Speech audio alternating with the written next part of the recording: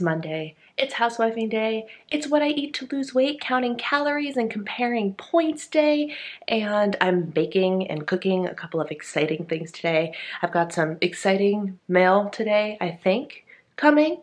But the problem is I don't actually know what's in the boxes that are supposed to come today, so it's going to be a big surprise to both of us. Very, very exciting things. I'm excited. I hope you're excited. Let's get this day going. So I'm putting together today's pre-workout formula. It varies day to day because I have so many samples and stuff. I literally have all of this stuff from PE Science because I subscribe to their probiotic and every time I get a monthly shipment of my probiotic, I get like five or six different samples in my box. So this is my my collection. I have a bunch of protein for oats that I have to use up. I have their new coffee protein that I need to use up. It's caffeinated protein powder. I've got Alphamine. I've got half servings of their actual protein powder in here. I have high volume, which I love to use. It is not caffeinated pre-workout, but it helps with your pumps and, uh, you know, like weight training. And then Prolific is also a pre-workout. So today I just kind of decided to pair up what I have that matches flavor. So I'm going to use this Alphamine caffeine powder alongside this raspberry lemonade. Both of them are raspberry lemonade high volume because today we're doing weight training. And also, I should mention, I'm going to start using my Amino IV BCAA samples as well because I have been finding that I've been needing a little something extra because I've been doing LIIFT4 and it is intense and my body has been like, whoa, working out too hard, not recovering enough. I drank this the other day and I felt so much better. So I'm going to start regularly incorporating BCAA recovery beverages into my routine. Guess who's back? I'm starting over. Week one. I'm going right back to it because I freaking loved it. And here's the thing, like, it's not like going back to week one has me backtracking to what I was doing eight weeks ago because, ladies and gentlemen, the whole point is to add weight as you get stronger. So I am starting week one with my week eight weights. Does that make sense? So I'm still going to be progressing. I'm still going to be growing and gaining muscle and getting stronger, hopefully more toned, because I will tell you, I'm, I'm starting like, I'm starting to tone up as I've showed you guys before, but my actual weight loss has not been much, which is fine because I'm gaining muscle. I'm literally gaining, which means I'm not losing weight, but I'm burning fat. I'm getting a little bit trimmer. I've lost a couple of inches, and I'm most importantly, I'm getting stronger. So I'm just gonna hang out with Joel for another eight weeks because I freaking love him. I love my results. Our home gym is coming along nicely. The next vlog that you see, I probably will, will not be up here in the loft. Right now I'm in the loft upstairs doing my workout. I won't be up there anymore. I'll be in the basement and I'll show you guys the update of the home gym in a little bit. But first, I have to do some lift. Okay, so here's what's up. Workout part one is complete. I did LIIFT4, week one, day one. Felt really good about it. Awesome. Before I go downstairs, show you guys what's going on with the home gym that we're working on building and doing my elliptical workout, I have to start dinner. Dinner is pot roast pot roast. Uh, chuck roast was on sale at Target when we were there yesterday. So I was like, you know what? Pot roast sounds great. It's one of my husband's favorite dishes all the way from when his mom used to make it for him. And her way of making it is super, super, super easy. And today I'm going to elevate it just a little bit with a little bit of experimental additions to the pot roast. So usually what she does is just pot roast and carrots and potatoes and the secret ingredient. Are you ready for the secret ingredient? Onion soup mix. Yeah, it's that simple. You pour that in, you add a little bit of water, and then you let it cook. I am kind of taking my mother-in-law's recipe and Rachel Hollis's balsamic pot roast recipe and kind of combining them. I'm simplifying Rachel Hollis's version by adding just a little bit of balsamic vinegar and a little bit of soy sauce and some garlic to my mix. And instead of using water, I'm, I'm heating up water as we speak, and I'm going to turn it into chicken broth with the Better Than Bouillon uh, chicken broth concentrate to add just a little bit more diversity in flavors. I have no idea how it's gonna go. Hopefully it'll be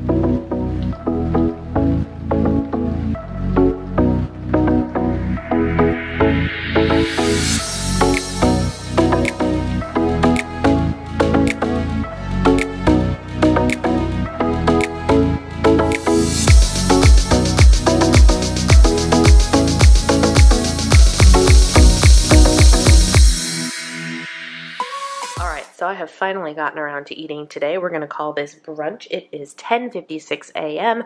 I have been fasting for over 16 hours now. That was unintentional. I usually stop my fast at 14 hours, but that's okay.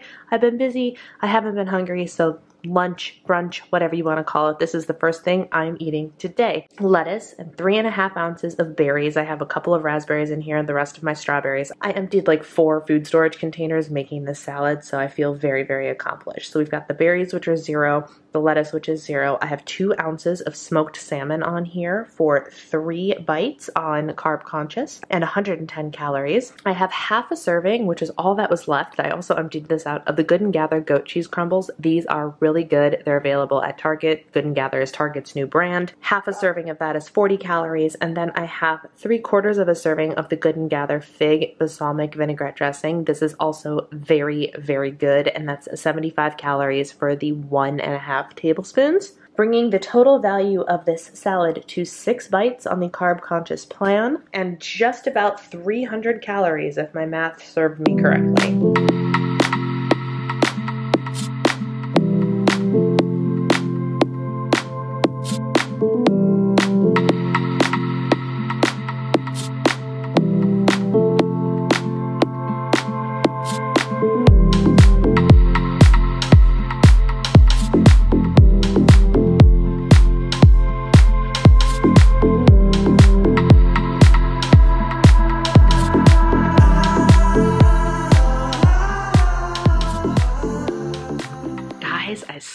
Swear to goodness the devil does not want me to vlog today.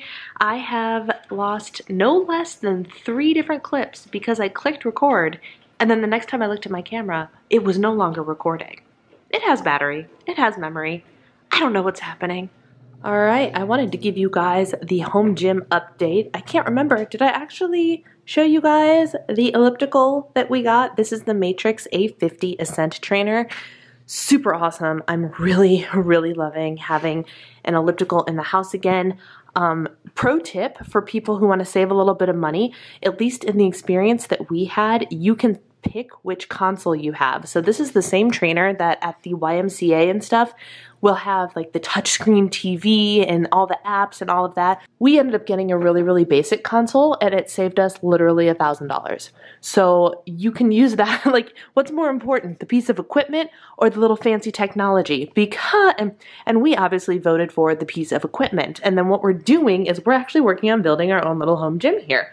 This floor is rubberized gym floor, um, very similar to the stuff they use in the Beachbody videos and the LIIFT4 videos. We got this from the same store that we got the elliptical in. It is just a, what, eight foot by four foot thing. Like they're the puzzle pieces. It's real sturdy and real, real good. And then we are working on setting things up. We're waiting on a TV stand, but we did get ourselves a nice big screen TV for down here and we're gonna put it on a movable stand that'll be somewhere over here so we can move it around and whatnot and then we can lift four and Beachbody and all that jazz on this platform here. We'll have the TV there, which we can see from the elliptical machine. And then over here, we wanna get some like foam stuff so we can have a core workout area that is, of course, Little Miss Diva's spot because, of course, Miss Gracie cannot be bothered to actually sit her little tush on the cement floor. It has to be on padding of some kind, so to keep her off of that and that, we had to make her her own little spot, my little diva. Anyway, that's the home gym update. I will show you guys more once it is all set, but I'm really, really excited. We're gonna move all of our weights down here, like I said earlier. We're gonna do Beachbody down here, and it's going to be a legit little home gym. It'll be put together in little pieces. We'll have some mismatched dumbbells and a whole bunch of random tools, but you know what? It's gonna be functional and it's going to be really awesome to have. All right, I'm not all that hungry, so I'm just having a snack for lunch. This is a healthy eating all the time and go bar, my favorite bars, and this is my favorite of my favorites, the chocolate one. So good. Five points, 210 calories, delicious. Yes, I am listening to Jordan Syatt. This is him doing his weekly live stream in the Inner Circle Facebook group, the paid Facebook group. Loving it. I've asked him a couple questions today. It's awesome. I'm going to eat this, listen to him, and then I have to get back in the kitchen. All right, my friends, welcome back to my kitchen for a new segment called Baking with Brianna. Kidding, but not really kidding because I'm going to bake and I'm going to bake something that is not diet friendly or Weight Watchers friendly or whatever. Although technically it is my diet friendly because if you're counting calories, anything goes. I mean, if you're counting points, anything goes, let's be honest. So you can have whatever you want, just in moderation, my friends. So I actually calculated the calories and points of this thing last night, and I pre-tracked my pot roast dinner and my slice of dessert, which I don't even know if I'm gonna want that big of a slice yet, already. So basically I went into today already knowing I was gonna spend like half of my calories on dinner and dessert. This dessert that I'm about to make for a 12th of it in a 12th of a 9 by 13 pre-greased pan, um, one twelfth of that is going to be 344 calories and eight bites on the carb conscious plan on iTrackBites.